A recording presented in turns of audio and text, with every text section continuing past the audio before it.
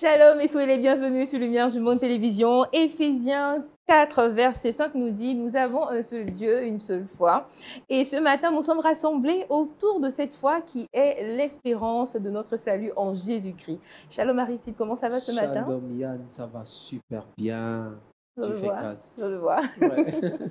Et toi, comment ça va ce matin? Alors, la semaine commence très bien et j'ai envie de chanter ce titre avec tout le monde. D'accord. Alors, ce que Dieu a fait pour moi, Je ne peux pas tout raconter. ce que Dieu a fait pour moi, Je ne peux pas tout raconter. ce que Dieu a fait pour moi. Je ne peux pas tout raconter. Il m'a sauvé, il m'a lavé dans son sang. Amen. Amen. Le Seigneur a béni ce week-end. Nous avons une semaine encore bénie. Amen. Merci au Seigneur. Merci beaucoup. Et nous sommes lundi, et qui dit lundi dit bonne santé. Nous sommes avec le docteur Oufoué Yves. Shalom. Shalom. Et avec vous, on aborde le sujet des glaucomes. Oui, on va parler encore des glaucomes. Shalom à tous. Et les glaucomes, pathologie nécessitante qui, qui, qui fait perdre la vue progressivement de manière insidieuse. Donc, il faut connaître les signes pour faire un dépistage assez précoce. Et merci beaucoup, docteur. Et nous sommes également avec le, doc- euh, le pasteur Thibault Lavigne. Shalom. Shalom, heureux d'être avec vous. Pareil, euh, quel est le thème que nous abordons aujourd'hui? Un cœur humble. Un cœur humble. C'est ce que Dieu nous demande justement parce qu'il aime les humbles et il résiste aux orgueilleux. Mais avant d'arriver justement à cette première rubrique, nous allons nous affairer sur les sujets de, de la Team Vie. Kate, quel est le sujet que tu abordes aujourd'hui dans le Trickbox? Alors, donne-moi l'occasion de saluer les astuciers et les astucières. Alors, aujourd'hui, j'ai trois astuces pour éclaircir les aisselles. C'est Alors, très important. vous voulez savoir comment éclaircir les aisselles avec le concombre, la pomme de terre, le citron et l'huile d'olive. Restez à votre place et surtout ne zappez pas. Ne zappez pas et allez toquer à la porte de vos voisins pour leur faire savoir que Jésus est puissant, il est vivant et c'est toujours bien d'être en sa présence. Aristide, dans Culture Actuelle, le saviez-vous? Qu'est-ce qu'on apprend? Oui, permets-moi de faire un coucou à Roselyne qui nous suit chaque jour. Elle nous suit, elle suit l'émission Wake Up avant d'aller au travail. Nous te faisons un coucou. Et dans, Coucou dans Culture Actu, nous allons partir ensemble en Chine, dans la province de Henan. Nous allons parler véritablement d'un fait euh, qui, certainement, parlant de persécution, arrive. et également dans le saviez-vous, parlons encore des promesses de Dieu suivant l'alphabet française. Merci Aristide. Et vous avez compris comment avoir un cœur humble selon le plan de Dieu. C'est maintenant et on apprend encore plus dans Méditons ensemble. Alors, pasteur, nous avons euh, les oreilles tout le cœur disposé pour entendre la parole de Dieu. Merci beaucoup. Très heureux de partager avec vous ce qui est le, le fruit d'une formation au service de Dieu que nous avons dans notre Église. Euh, depuis des années, nous cherchons à, à améliorer la qualité de notre service et en, par- en particulier du cœur de ceux qui servent. Et, et, euh, vous avez un bon cœur, mais notre cœur peut toujours s'améliorer, se perfectionner. Et notamment dans le domaine que je vais aborder aujourd'hui, donc cette formation au service a donné lieu à un livre et qui s'intitule euh, Servir Dieu, c'est bien. Bien le servir, C'est mieux. Euh, voilà, aux éditions viensetvoix.fr, euh, voilà, qu'on peut retrouver sur Internet. Euh, sur cette dimension de, de l'humilité, j'ai d'abord un verset que j'aimerais lire. Euh, au chapitre 12, donc au verset 16, le texte dit ceci Ayez les mêmes sentiments les uns envers les autres, n'aspirez pas à ce qui est élevé, mais laissez-vous attirer par ce qui est humble, ne soyez pas sages à vos propres yeux. Et là, j'ai vécu une expérience avec cela.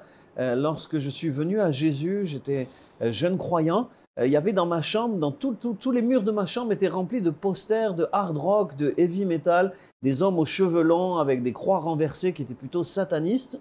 Et à un moment donné, j'ai aimé Jésus et j'ai dit, je vais enlever les posters. Et puis je me suis retrouvé dans tous les murs étaient blancs et ça me, ça me, ça me plaisait pas. Alors j'avais vu qu'il y avait une bibliothèque dans mon église, je me suis arrêté, j'ai parlé avec la dame qui était là et j'ai dit, est-ce que vous avez des posters? Et elle, m'a montré différents posters et j'en ai choisi un parce qu'il y avait un paysage, de la nature, vous voyez. Alors j'ai pris ce paysage, j'ai pas fait attention, à ce qui était écrit dessus, mais c'est le paysage qui m'a attiré. Et, et puis euh, euh, quand je suis arrivé à la maison, j'ai mis le poster. Et puis pendant des années, j'ai eu ce poster dans ma chambre. N'aspirez pas à ce qui est élevé, mais laissez-vous attirer par ce qui est humble. Et j'ai eu le temps de méditer sur ce verset qui passe peut-être inaperçu pour beaucoup, mais, mais pour moi, forcément, il était dans ma chambre tous les jours, j'étais obligé d'y penser. Euh, il, nous- il nous parle de ce à quoi on aspire. Euh, et souvent, en tout cas, les hommes aspirent à des grandes choses. Et pourtant, le texte dit, n'aspirez pas à ce qui est élevé. Et puis, je suis même étonné par ce texte qui dit, laissez-vous attirer par ce qui est humble. C'est-à-dire, c'est comme si ce qui est humble, ce qui brille pas aux yeux du monde, nous attire.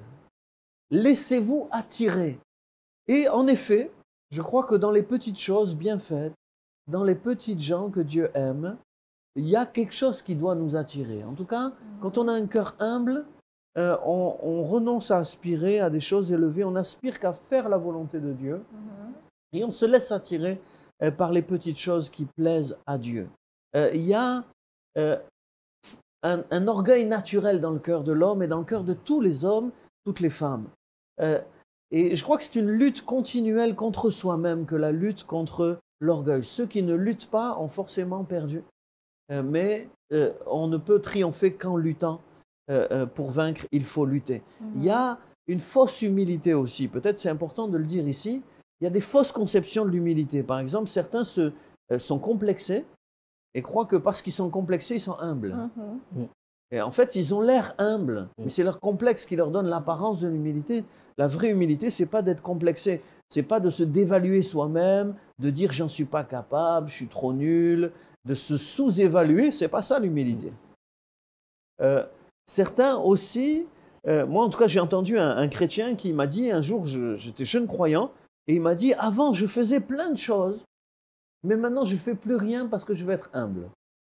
Et je crois là aussi c'est une erreur. C'est, c'est- c'est- la vraie humilité est capable de faire beaucoup de choses, mais en donnant gloire à Dieu, Oui. sans se glorifier soi-même.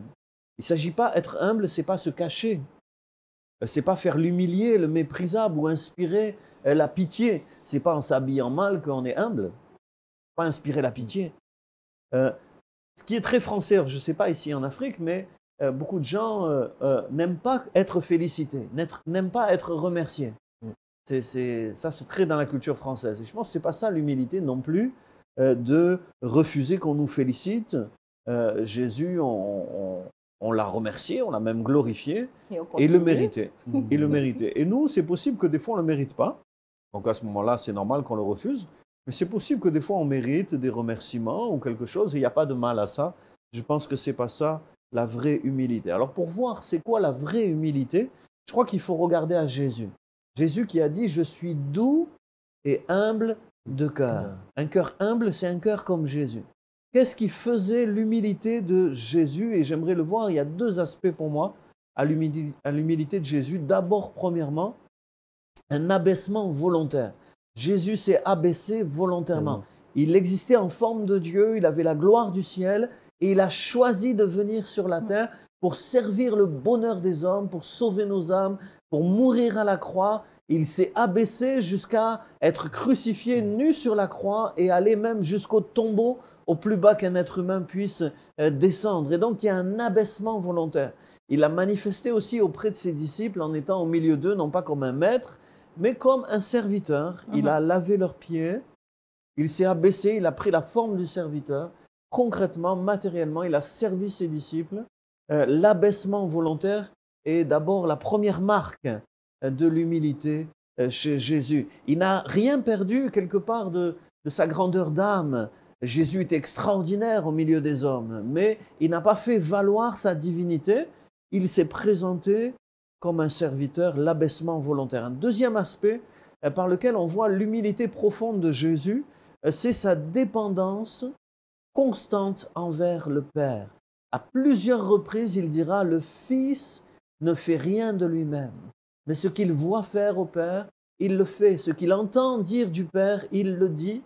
Il dit aussi, je ne juge pas de moi-même, mais selon ce que le Père euh, me dit. Et donc, il dépendait constamment du Père. Et cette Mhm. dépendance de Dieu est au cœur de l'humilité. Jésus est un modèle pour nous, l'abaissement volontaire et la dépendance envers Dieu.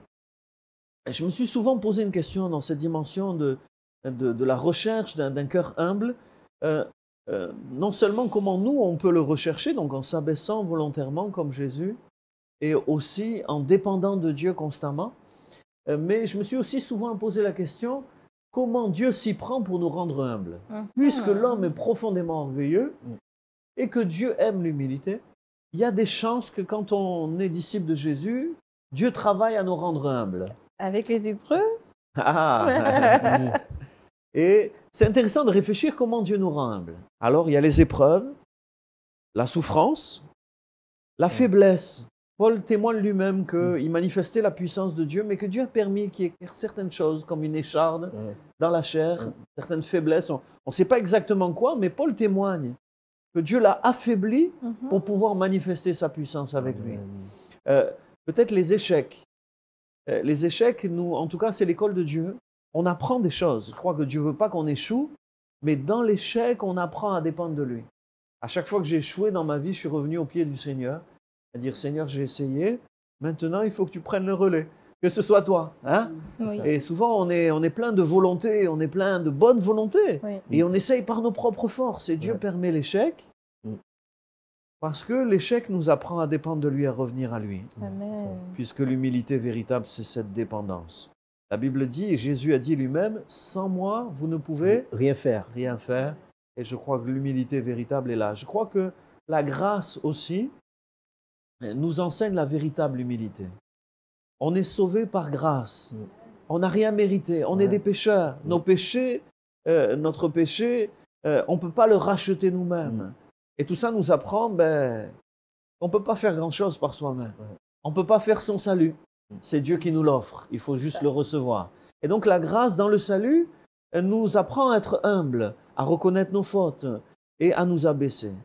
Euh, Mais la grâce aussi, en dehors du salut, pour la vie chrétienne, en fait, tout est grâce dans la vie chrétienne.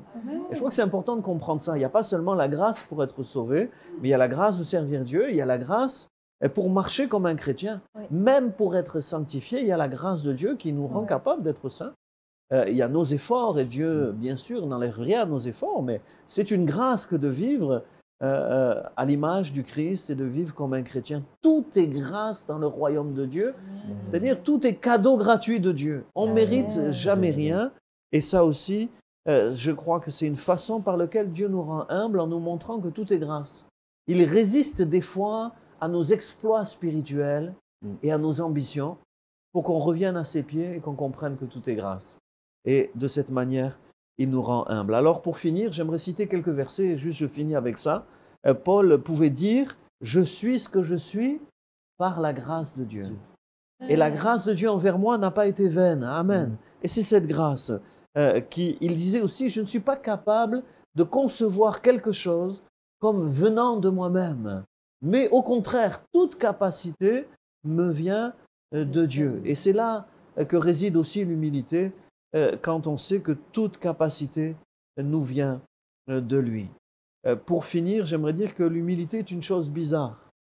Quand on pense la détenir, c'est là qu'elle nous échappe. Hmm. Et peut-être on pourrait prier, Seigneur, j'aimerais être humble, mais peut-être que tu pourrais permettre que je ne le sache pas, Mhm. pour pouvoir continuer à le rechercher et à l'être. Alors on ferme nos yeux, on prie, Seigneur, euh, Oui, Seigneur, on veut être humble. Et on veut te demander cette vraie humilité, peut-être, euh, vraie humilité. Merci. dont on se fera jamais une gloire. cette dépendance envers toi. Parce que sans toi, on ne peut rien faire. Et cet abaissement volontaire pour servir les autres, Comme tu l'as fait toi-même pour nous, Jésus. Amen. Amen. Merci, Pasteur Thibault, pour euh, ce très bel enseignement hein, qui nous exhorte à avoir un cœur humble, comme nous le souhaite euh, notre Seigneur Jésus. Mais l'humilité, comme vous l'avez dit, en tant qu'homme, ce n'est pas donné, ce n'est pas facile de l'avoir, que ce soit dans le domaine professionnel, dans la vie courante, euh, au sein de la société. C'est vraiment très difficile. Docteur, vous, Ouais. comment vous arrivez justement à avoir un cœur humble? Oh, c'est effectivement, j'ai le- l'enseignement du, du pasteur a bien vraiment à pronommer. Parce que quand je quand j'écoutais un peu ce qu'il a dit de Paul, effectivement, j'ai l'impression que Paul, au début, Paul était fougueux. Paul pensait qu'il il pouvait tout faire. Il prenait les, lettres avec les, chefs pour aller, pour aller ligoter, pour aller faire venir les chrétiens pour les, pour les, pour les battre. Mais au fur et à mesure qu'il approchait de Dieu, il voyait que, en fait, on se disait qu'au fu- au fur et à mesure que Paul devient fort, on, on disait qu'il fait beaucoup d'exploits. Et là, il devient de plus en plus humble. Donc, ça, ça, me, ça me laisse un peu, un peu perplexe pour dire que, en fait, il voyait que tout ce qu'il faisait avant, il n'est pas mort. Dieu l'a ressorti de ce, de ce, de ce Mhm. boubin dans lequel dans il était. Et puis, il a fait encore voir des choses extraordinaires. Mais c'est la grâce de Dieu. La grâce. Tout est grâce de Dieu. Tout Même, grâce. même de domaine médical, au fur et à mesure qu'on avance, au fur et à mesure qu'on avance de domaine médical, on voit que c'est la grâce de Dieu. Mhm. C'est la grâce de Dieu. Parce que les choses que tu dis que c'est impossible, ce gars, c'est impossible qu'il guérisse. Mais après, tu dis non, que c'est impossible pour l'homme euh, qu'il guérisse, mais pour Dieu, c'est pas impossible. Mhm. Et puis, au fur et à mesure, au fur et à mesure qu'on avance, on voit que c'est la grâce de Dieu qui fait tout. Effectivement, c'est ça. La Merci beaucoup, docteur. Kate, un moment euh, où tu as vraiment senti cette grâce dans ta vie pour garder ton cœur humble. Partage avec nous. Quand je réfléchis, euh, je pense que euh, des moments vraiment tout de suite là, je m'en souviens. Je m'en souviens pas, je m'en souviens pas, mais je pense que le Seigneur nous, nous amène à vivre des situations qui Oui. vraiment nous amènent à être humbles. Une anecdote, là je peux, je, je peux dire, un, un groupe de chants est, est allé, devait aller prester. Et ce jour-là, il ne faut pas compter sur le lit vocal qui avait la voix. Arrivé sur les lieux de la prestation, le lit vocal n'avait plus de voix. Voilà, la voix ne sortait plus. Jusqu'à ce que le programme finisse. Et après, la voix est revenue. Pour dire qu'il fallait bien que le groupe soit humble et que euh, au finish, on puisse comprendre que c'est la grâce. Tout est grâce. C'est le Seigneur qui permet qu'on ait un certain talent. Alors, il ne faudrait pas utiliser ce talent pour s'enorgueillir, pour aller euh, pour vouloir humilier les autres, mais Mhm. plutôt pour servir le Seigneur. Voilà. Mhm. Un peu comme Moïse avec le bâton. Aristide, n'est-ce pas? Moi, je pensais, pendant que Kate parlait, mon épouse a vécu une expérience, je crois qu'elle est racontée dans le livre. Euh, elle, chantait, on a fait des comédies musicales, ma femme chante, elle a fait plusieurs CD. Et il y a eu des moments où elle a, voilà, elle a servi le Seigneur à fond, et puis elle a eu des nodules aux cordes vocales. Quand elle a eu ça, je vais vous faire bref, mais quand elle a eu ça, elle a, perdu la voix, elle n'arrivait plus à chanter, elle n'arrivait même plus à parler, elle est professeure d'histoire-géographie, elle n'arrivait plus à enseigner très, très, ces, ces- ces- journées étaient très souffrantes au travail. Et puis, elle ne pouvait plus chanter à l'église. Et au début, quand elle a été voir le médecin, au bout de quelques semaines, quelques mois, et il lui a dit, il lui a donné des traitements. Et en fait, elle a essayé plein de traitements et ça a duré quatre ans. Et du jour au lendemain, elle n'a plus pu chanter. Et, et pendant quatre ans, elle a été totalement euh, voilà, aphone. Et, et vraiment, c'était très compliqué, même pour parler ensemble. Des fois, le soir, on me disait, on va pas parler parce que je vais garder la voix pour demain pour enseigner. Et donc, ça a été une épreuve très difficile. Et quand elle a recommencé au bout de 4 ans, c'est ça que je voulais dire, quand elle a recommencé à chanter au bout de 4 ans, il y a eu un don spirituel qui a dit, je libère ta voix, tu vas recommencer Ah, à me servir. Alléluia. Euh, mais c'est intéressant parce que ça ne s'est pas fait d'un coup.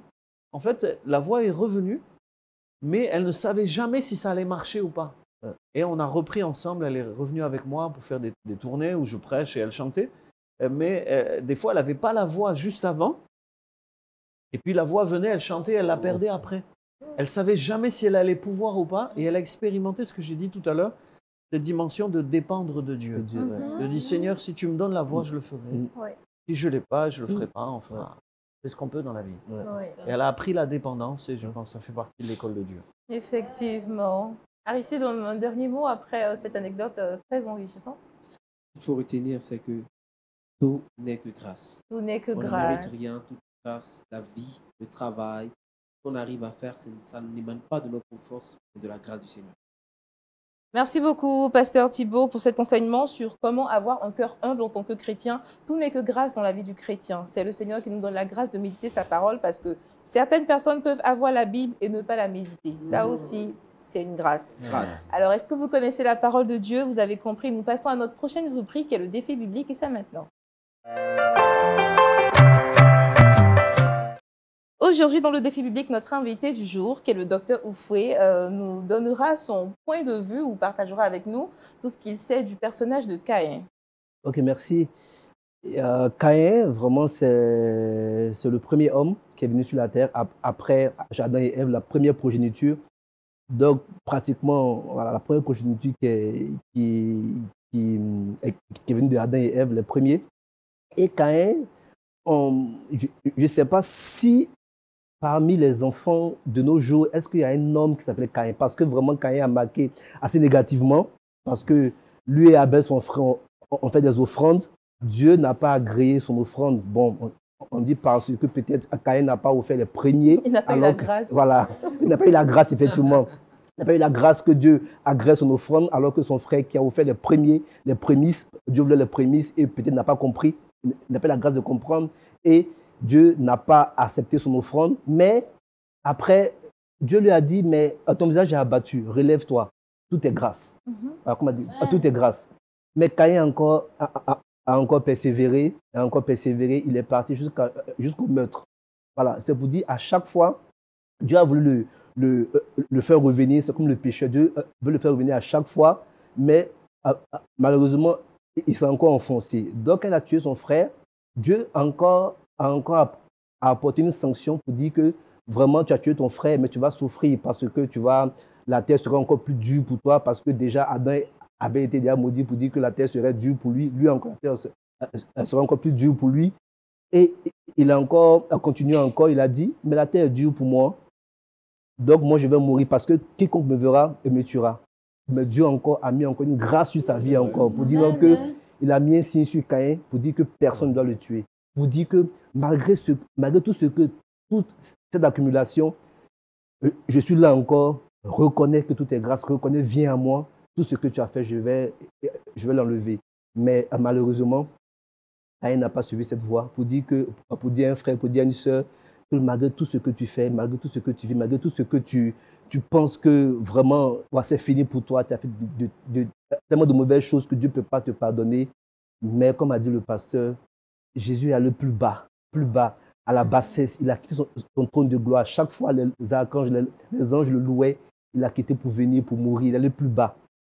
Peu importe ce que tu vis, comme le Fils prodige, reviens, reviens, Reviens. Amen. reviens, papa. Merci beaucoup, Voilà. docteur. Euh, Pasteur Thibaut Caïn, euh, un cœur euh, envieux et orgueilleux. Ouais. Ouais. Un homme charnel, Ouais. c'est sûr. Mm. Il n'a pas saisi la grâce que Dieu lui faisait justement de lui parler. Mm. Alors qu'il était en train, il était sur le chemin où il allait commettre quand même le meurtre qu'il a rendu le plus célèbre, c'est le meurtre de son frère. Sur ce chemin-là, Dieu lui a fait vraiment cette grâce Mm. et il n'a pas saisi. Dieu lui a parlé, mais il n'a pas compris. Mm. Et par contre, je, je suis très touché parce que le frère souligne, c'est vrai qu'à la fin, Dieu a mis un signe sur lui, il lui a permis quand même. La Bible témoigne qu'il y a eu quand même une, une certaine civilisation qui s'est développée Oui. après Caïn.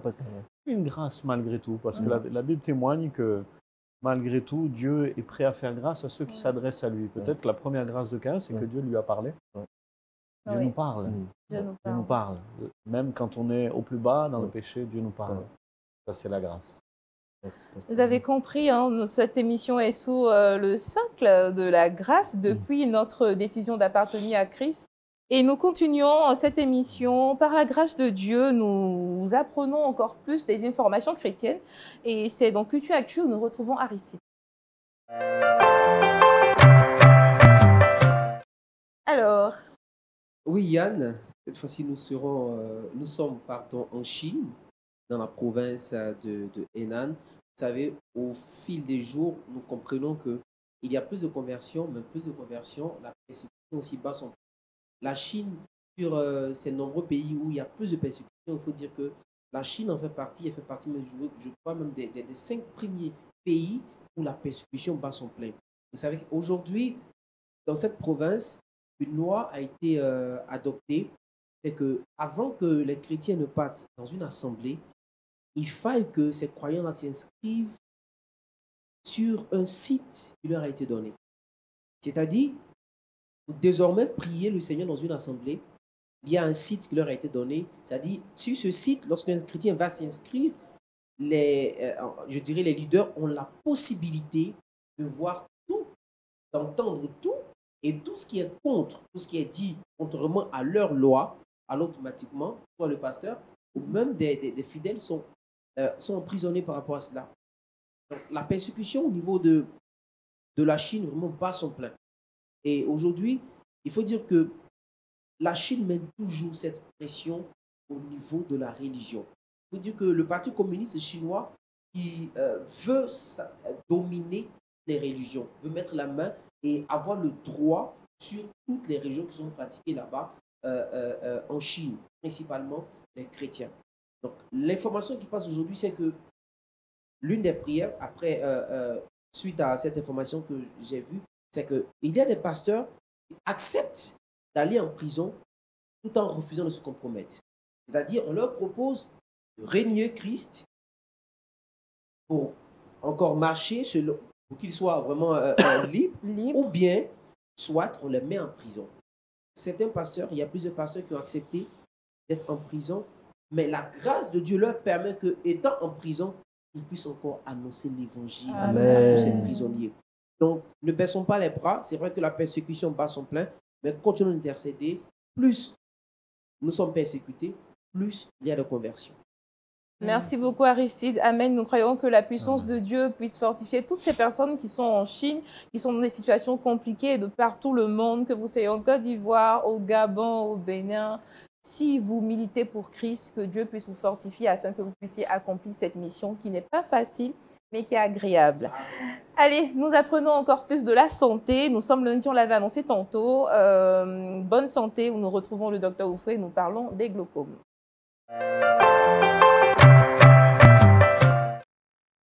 Docteur Oufoué, qu'est-ce que les glaucomes? Comment les attrape-t-on? Un enfant peut-il avoir le glaucome? Est-ce héréditaire? Autant de questions. hein. Ah autant de questions.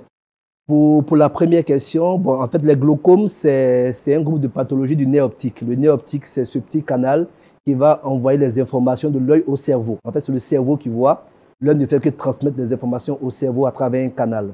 Donc, le nerf optique est ce canal-là, quand il s'abîme, voilà, en fait, l'œil ne peut transmettre les informations au cerveau parce que la route est coupée.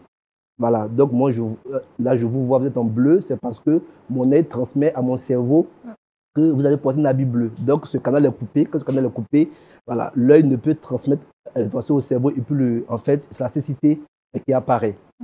Deux gangs de glaucome, le glaucome à angle fermé et à angle ouvert.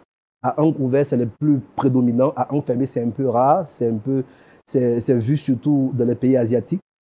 Mais c'est comme pour expliquer un peu, c'est comme la tuyauterie en fait. C'est comme le lavabo qui coule, l'eau qui coule, qui passe par, par le siphon et qui doit partir. Quand l'angle est fermé, le siphon est fermé. Donc tout l'eau remonte, en- tout l'eau reste et puis après ça crée de la pression, ça crée des douleurs qui sont vraiment insomniaques, des douleurs qui sont vraiment atroces. Le patient va consulter, on voit que c'est un glaucome, mais ça va très rapidement. Donc quand c'est vu tôt, c'est traité. Mais très souvent c'est un glaucome à angle ouvert. Le siphon est ouvert, mais il y a une petite partie. L'eau ne circule pas bien. Donc le patient ne s'en rend pas compte. Alors que quand l'eau ne circule pas bien, ça crée un peu de pression dans les yeux. Et puis après, au fur et à mesure, le nez optique euh, s'abîme. Mais c'est une pathologie qui est très silencieuse, qui ne fait pas mal. À très souvent, il n'y a pas de douleur, la vue est bonne. Et au fur et à mesure, le nez optique euh, devient, euh, euh, s'abîme et après sa cécité. C'est la première cause de cécité irréversible sous nos tropiques ici. Donc, le- un enfant peut l'attraper parce que souvent, dans le rare cas, ça commence dans le vent de la mer un glaucome congénital, mais se voit euh, directement à la naissance ou dans les premiers jours de la vie. L'option, c'est la chirurgie pour pouvoir euh, permettre à cet enfant de pouvoir voir. Voilà. Donc, c'est ça le dépistage. Le dépistage, c'est le, le maître mot qu'on dit parce que c'est silencieux, ça fait pas mal, on voit bien. Chez nous, voilà, quand on voit bien, on n'a pas de douleur, voilà, j'ai pas de soucis. Et puis, mais pourquoi mettre un traitement dans les yeux? Même quand le médecin me dit que, ah, monsieur, faites attention, parce que si, si le traitement n'est pas mis, à la longue, vous serez aveugle. C'est ce qu'on dit aux patients, mais très souvent, ça avance très lentement sur, des, sur au moins 5, 10, voire 15 ans.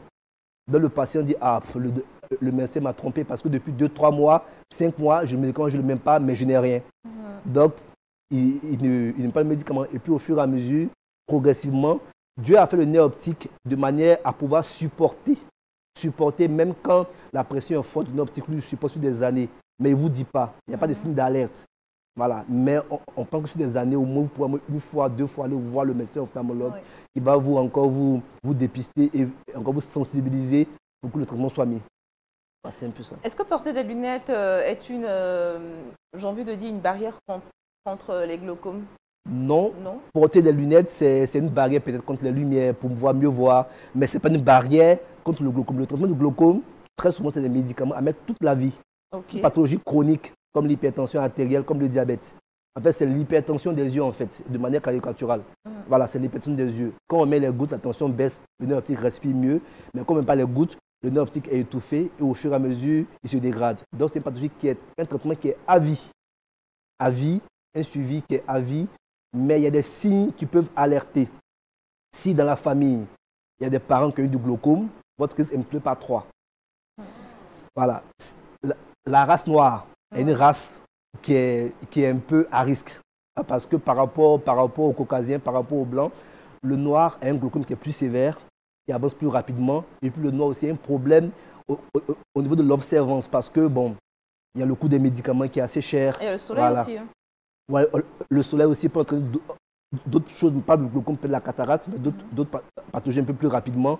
Voilà, donc c'est, il y a la race, il y a, il y a le facteur euh, familial, et puis après 40 ans, après 40 ans, le augmente. Donc voici pourquoi après 40 ans, après 40 ans, on ne verra pas de près. C'est la presbytie. Donc, pour pouvoir voir, je dois peut-être éloigner pour pouvoir voir. Donc après 40 ans, très souvent les patients euh, euh, viennent voir l'ophtalmologue pour dire que, ah docteur, je ne vois pas bien de près. Donc le médecin leur prescrit leur, leur lunette pour voir de près. Et en même temps, ils en profitent pour faire un dépistage. Parce que après 40 ans, le augmente. Donc on fait le dépistage. S'il n'y a rien, chaque 2-3 ans, on vous revoit. Mais s'il y a un problème, on fait un bilan. Si le, si le bilan euh, confirme que c'est un glaucome, on vous met sous traitement et à vie. Donc traitement d'abord médicamenteux. Après, si ça passe pas, on fait du laser. Ou bien passer à la chirurgie pour les cas les plus compliqués. Merci beaucoup, docteur. Oui, vas-y, Kate. Je veux savoir, ah, vous avez parlé du Ok. le traitement, le traitement lui-même, est-ce qu'il coûte cher? Effectivement, c'est voici pourquoi on pense que la race noire chez nous, c'est ça peut être un frein parce que vraiment il est à vie. Dans les pays européens, les pays développés, il y a la, la sécurité sociale qui prend en charge les médicaments. Voici pourquoi l'État est en train de mettre en, en place cette structure de la CEMU pour pouvoir, pouvoir, pour pouvoir prendre en charge les médicaments, les médicaments chroniques. Les médicaments varient environ, les plus chers sont autour de 15-20 000 francs. Les plus moins chers autour de peut-être 5-6 000 francs. 20 000 francs pour l'ivoirien, c'est- ça fait un tiers du SMIC. Le SMIC ivoirien, ça fait un SMIC. Donc, si je dois mettre un du SMIC ivoirien pour payer un médicament une fois par mois, euh, je vais manger avec quoi? Je vais pas me loyer avec quoi? Donc, ça fait que ça devient lourd. Donc, au début, les patients, très souvent, les patients se font aider par leurs proches. Mais à un moment, sur deux, trois mois, d'accord, mais après, sur, un, deux, sur une, deux années, sur un moment, il y a un épuisement. Donc, le patient arrête de mettre les médicaments sur le coût. Effectivement, comme je l'ai dit, le coût est un facteur vraiment pénalisant pour, pour, pour, Pour le malade. ah, pour le patient. Voilà. Et euh, l'opération, vous avez dit pour les enfants, il faut faire la chirurgie, tout ça. Est-ce que ça, ça, ça coûte cher également? Non, la chirurgie ne coûte pas cher. La, la chirurgie ne coûte pas cher, mais chez nous, on ne l'emploie pas en première intention parce que, parce que si les médicaments peuvent soulager, peuvent traiter, on préfère éviter la chirurgie. La, chirurgie, c'est un traitement, c'est une surveillance qui est à vie. Et puis, ça peut se compliquer après. Mhm. Donc, on regarde, on, on regarde la chirurgie pour les cas les plus compliqués où les gouttes ne réussissent plus à, à, à, chose à faire baisser la tension. Merci beaucoup, docteur. Je profite pour rappeler que Jésus-Christ, avec de la terre et de la salive, a posé ses mains sur les yeux d'un malade. Il était guéri. Comme quoi, si Amen. vous avez la foi, aussi petite qu'un grain de sénévé, vous pourrez tout faire au nom de Jésus. Amen. Merci beaucoup. Et on continue avec euh, cette autre rubrique où nous retrouvons euh, Kate dans le Trickbox. Aujourd'hui dans le Trickbox, trois astuces, pas pour retrouver la vue, mais pour avoir des aisselles éclaircies. C'est ça. Parce que beaucoup m'ont envoyé des messages, ok, je ne sais pas comment. Pas que les essais, mais également les entrejambes. Voilà, parce que beaucoup de femmes ont envoyé des messages inbox. Donc aujourd'hui, j'ai des astuces pour vous. On est La beaucoup dans la beauté hein. La première chose, vous pouvez utiliser le concombre. Alors, le concombre a des propriétés éclaircissantes et adoucissantes. Il est connu pour son action hydratante. Alors, donc, n'hésitez pas à l'utiliser. Ce qu'il faut faire, c'est prendre un concombre, vous le coupez en rondelles et vous passez euh, un morceau sur vos aisselles. Vous laissez patienter 5 à 10 minutes avant de vous doucher. Donc, vous, allez l'utiliser comme un gommage. Vous pouvez également utiliser les pommes de terre. Donc, la pomme de terre, euh, il faut l'utiliser 5 minutes avant hein, de prendre sa douche. Donc, c'est pareil, vous coupez la pomme de terre parce qu'elle a également des, propriétés hydratantes et adoucissantes. Donc, vous allez, euh, vous n'allez pas vous abîmer la peau, vous n'allez pas euh, écorcher votre peau parce que c'est adoucissant et vous allez également éclaircir votre peau. Plus besoin d'acheter des pommades très chères, des voilà. J'aimerais rappeler qu'il ne s'agit pas de blanchiment de peau. Non, Voilà, pas de mais blanchiment. d'éclaircir des parties euh, voilà, qui ne sont pas, pas, de souvent blanche, c'est ça. mises en exergue par la lumière. C'est Voilà. ça, pas de blanchiment de peau, mais plutôt nettoyer. Parce qu'il y a une différence entre éclaircir et dépigmentation. Voilà. Éclaircir, c'est apporter de la lumière. Mais dépigmenter, c'est enlever carrément l'épiderme. Voilà, donc là, nous sommes clairs. hein, voilà. Ouais, c'est clair. Pour clair. terminer, euh, le citron et l'huile d'olive. Donc, faites un mélange de citron et d'huile d'olive et vous utilisez ce gommage pour vraiment euh, vous nettoyer le corps ou votre, euh, la partie à traiter. Et vous l'utilisez, vous massez pendant 5, à 10 minutes et ensuite vous pouvez passer à, prendre votre douche. Voici ces trois astuces que j'aimerais partager tout simplement avec vous pour avoir euh, euh, des- une peau douce et, et, et saine. Voilà, Des, voilà, des aisselles éclaircies Mmh, ou des parties éclaircies. du corps éclaircies selon vos choix. Alors on récapitule de l'huile d'olive avec du citron, Mhm, le ou concombre. les, po- les pommes de terre Mhm. et du- des concombres aussi. Pourquoi on coupe en rondelles qu'on applique euh, 10 à 15 minutes en masse avant le bain et c'est fait, c'est donné. Voilà, la, précision, la petite précision, c'est que le concombre, c'est pour, les personnes qui ont des peaux très fragiles, donc Mhm. des peaux très douces. Et les pommes de terre, c'est pour celles qui ont la peau grasse. Donc, si vous avez la, la peau grasse, utilisez les pommes de terre. Et puis, le citron et l'huile d'olive, c'est vraiment euh, les peaux euh, qui sont difficiles à traiter. Voilà. Donc, euh, le citron et l'huile d'olive. J'ai une question. Merci Kate. Une question. docteur. Comme, comme nous, les médecins, on, aime souvent de la posologie, de dire matin, soir, avant le bain. La durée, un mois, deux mois, trois mois, six mois. Non, pas, ça ne peut pas aller jusqu'à jusqu'à six mois. Vous traitez, vous faites deux fois par semaine et quand vous sentez que euh, vos aisselles ont éclairci, vous arrêtez parce que si vous abusez, vous allez vous détruire la peau. C'est la Voilà. dépigmentation. mais- C'est la dépigmentation maintenant. C'est ça. Maintenant, vous savez, si vous abusez, c'est la dépigmentation. Allez, on y va dans Le Saviez-vous et on retrouve Aristide.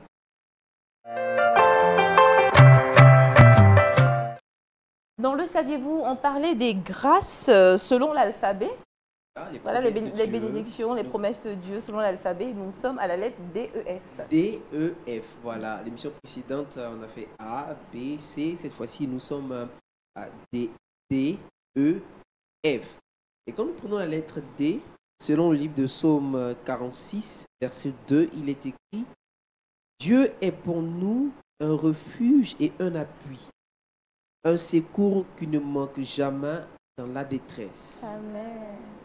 Et mon Dieu pourvoira à tous vos besoins selon sa richesse dans Philippiens chapitre 4 verset 19. Et enfin, la lettre F. Fais de l'éternel tes délices et il te donnera ce que ton cœur désire selon Psaume chapitre 37 verset 4. Amen. J'ai eu peur quand il a dit le F, je me suis dit, il a dit femme, obéissez. Non, C'est une promesse. Heureusement, euh, euh, heureusement, Justement, qu'elle est vrai. là, on, on on sent un traumatisme. Ouais. là. Les moi. Elle attendait à préparer la réplique déjà. Oui, je dis, mais attendez, mais ah, non, mais non, mais non. Fais de l'éternel tes tes délices. et il te donnera ce que ton cœur désire. Merci beaucoup Aristide. Et on n'oublie pas, vous avez la possibilité, très chers téléspectateurs, de nous faire parvenir vos préoccupations. Et le pasteur du jour, qui est le pasteur Thibault Lavigne, se donnera à cœur et joie de vous trouver des solutions ou vous donner des conseils tout simplement. Et vous avez compris, nous sommes dans Pasteur, euh, je veux savoir. Et la question est la suivante. Pasteur, je veux savoir, une question qui nous vient du Gabon. J'ai appris dans les couloirs de l'église que le pasteur de ma communauté aurait fait des avances à ma cheminante.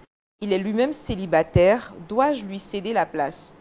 À qui, à qui il a fait des avances? À la cheminante. C'est quoi cheminante? C'est Ça, celle ça qui... voilà, euh, peut-être euh, la personne avec qui il a envie de, de terminer sa vie. D'accord. Alors moi, à mon avis, on n'a pas laissé la place au pasteur. Et puis dans la question, ce que je trouve trouble, il n'est pas marié, je suppose, le Ah oui, pasteur. non, il n'est j'espère pas bien. marié, il n'est non. pas marié. C'est un pasteur célibataire. Célibataire. Moi, je pense qu'il ne faut pas se battre avec le pasteur, mais c'est à, la- à la femme de voir qui elle préfère. hein. Mhm. Peut-être qu'elle ne se voit pas avec le pasteur et avec lui. Moi, pour moi, il ne faut pas faire concurrence, il ne faut pas s'affronter, Mhm. il faut prier. Et puis le choix revient quand même à, à la dame. À la dame. Choisir. Aristide, si tu étais dans la position euh, du frère, tu aurais euh, cédé la place au pasteur? Tu sais, la Bible dit euh, Hmm. Dieu, Dieu résiste aux orgueilleux. Bon là, là, ce qui est sûr, ce qui est sûr, c'est sûr que il puisse remporter le premier. À défaut, bon, vraiment, hein. bon, du courage aux frères en tout cas. Moi, la question, c'est est-ce que le pasteur est au courant euh, que euh, la, fiancée- la, la, la, la jeune fille en a question déjà un Voilà. Est-ce qu'il est au courant? Mhm. Donc, s'il n'est pas informé, vaut mieux aller informer le pasteur. Ouais. Ah, pasteur, il y a, il y a une jeune fille dans la communauté qui me plaît bien. Voilà. Là, comme ça, le pasteur, il sait et puis il peut prendre ses, Mm. ses dispositions. Mais le pasteur ne sait pas. C'est vrai. Ouais. Et tu as raison, moi dans ce cas de figure, en tout cas, j'ai pas eu de ce cas de figure avec un pasteur et un chrétien, mais moi je pense qu'il n'y a pas de le pasteur est supérieur, on lui laisse la place. Moi je crois pas à ça. Mais euh, ce que j'ai recommandé pour des chrétiens dans mon église, c'est qu'ils se parlent entre eux, les hommes. Ouais. Parce que le non-dit ou les choses faites par derrière, c'est pas Ouais. très masculin. Les hommes, on aime bien se regarder en face, on, on se dit ce qu'on a à se dire, et après on fait sa vie. hein. Voilà, tout Donc est se dit. parler, avoir un échange avec le Mhm. pasteur, au moins les choses sont claires parce que le frère, il risque d'être très mal pendant Ouais. très longtemps hein, Oui. sur cette histoire. Mhm. Surtout si la célébration du mariage a lieu. Mm. C'est pas sûr qu'il viendra à l'église. hein. Ouais. Docteur, Effectivement. à votre place, vous aurez faire quoi?